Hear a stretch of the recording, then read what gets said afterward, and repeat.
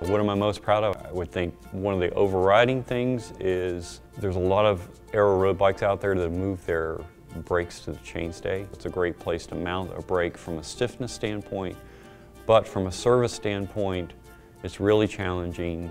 Not only during the setup, you have to maneuver around the, the crankset. In a race situation, it's almost impossible for a mechanic to hang out of the car and try to adjust the brake you know, on the fly. The rider would have to stop. So there's some disadvantages to having a, a brake mounted on the chainstay.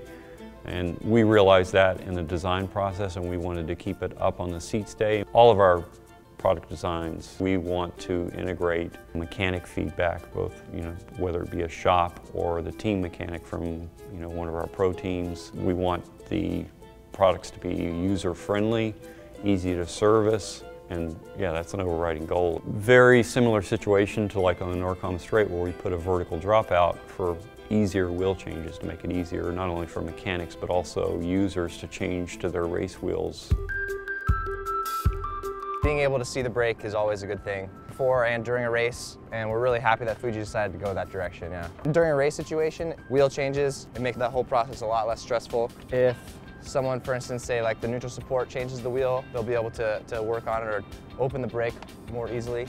Um, and just being able to, to confirm that the wheel isn't rubbing within the frame after a wheel change is a huge plus also.